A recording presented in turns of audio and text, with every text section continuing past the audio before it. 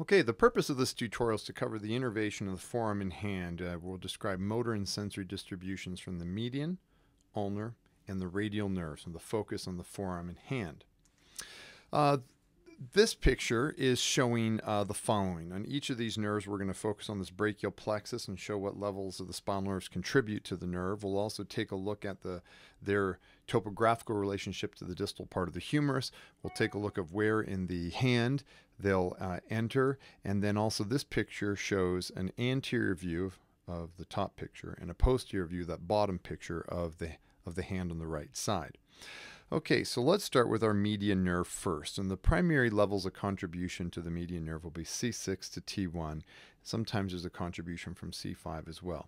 And so there we have on the brachial plexus the median nerve, which then sends a branch all the way down the axilla and arm where it does not give off any branches, and then it crosses right in front of the medial supracondylar ridge of the humerus. And at this point, at the elbow, it now then enters the forearm it gives off many of its motor branches. And so, uh, as the median nerve continues, it gives rise to nerves that go to the pronator teres, flexor carpi radialis, um, palmaris longus, and flexor digitorum superficialis. It also gives rise to a nerve called the anterior interosseous nerve, AIN for short. It courses right in front of the interosseous membrane between the radius and ulna.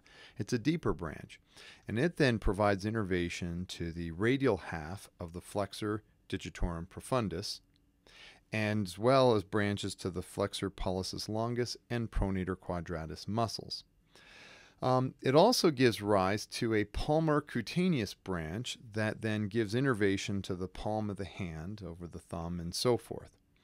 It then, the median nerve courses through the carpal tunnel, that uh, flexor retinaculum covering the, the uh, carpal bones, and then after traversing the carpal tunnel, the median nerve gives rise to a recurrent median branch that innervates our three thenar muscles.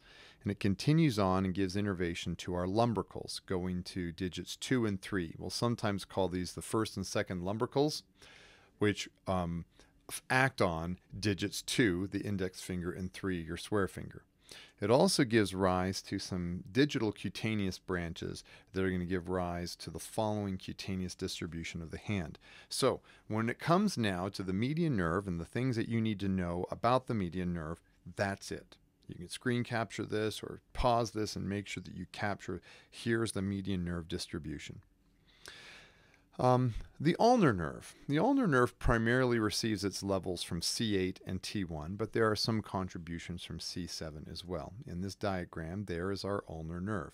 Now, similar to the median nerve, the ulnar nerve courses through the axilla down the arm and it doesn't do anything.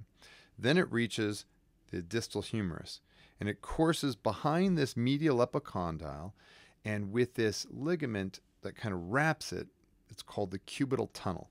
And it courses deep to that medial epicondyle of the humerus through this cubital tunnel and then enters the forearm. And within the forearm it gives rise to just a couple of nerves motor nerves.